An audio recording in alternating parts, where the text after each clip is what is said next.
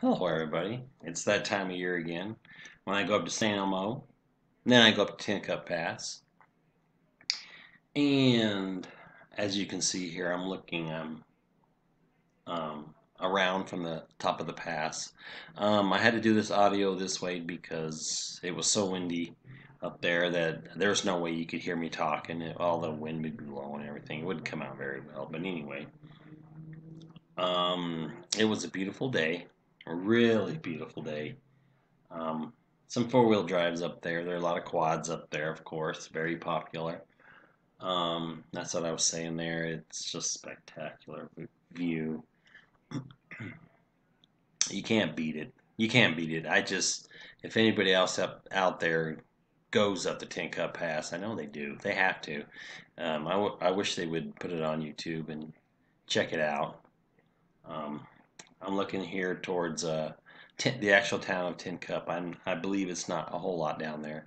One of these years, I need to um, go up over the pass and then go down there and check it out.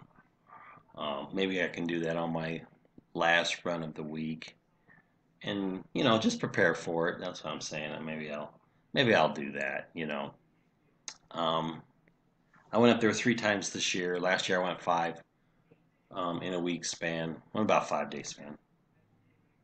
But uh, one day I went up twice, and then I took a day of recovery, and then I went up again for the third day. But usually I like to do a lot more. I like usually like to uh, uh, hit it four or five days. It's just it's just sometimes how I feel, how my body feels, and how fast it can recover. I'm not getting any younger, but as long as that mountain's up there, you know, I'm going to be up there doing this. It's just, you know, I just, it's so fun. It is just so fun. Um, and as you can see, the weather is just perfect. It was a little dry this year, um, which made kind of great because there wasn't a whole lot of mosquitoes. But, um, but the dust, it was just so dusty. I let the I always let the four wheel drive and the quad guys go past me. I'll stop them on my mountain bike, let them go by, and all that whips up a lot of that dust. And it's like, oh, you know, kind of choked me a little bit, but I have no choice. They're a little faster than I am, so they they they have precedence. You know, they can go first, which is fine. Um, you can see some four wheel drives behind me there by the sign. But anyway, oh, it was just so beautiful. Um, couldn't ask for any better, better uh, weather.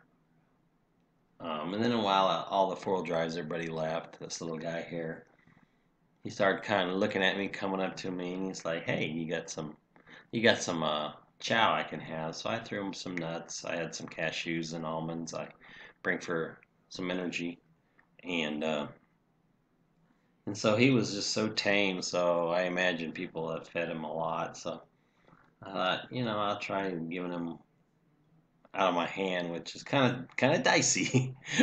they can kind of they can nip you on the finger, and you, especially up there. I have no, I didn't bring any first aid kits or band aids or anything, but um, you don't really think of that kind of stuff, you know, um, at the moment. So, but uh, you can move out pretty fast. You can.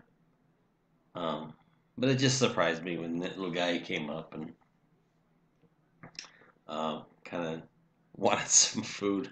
That's what I was saying right there. I was just saying, hey, that's my little tin cup buddy. I hope he's there next year.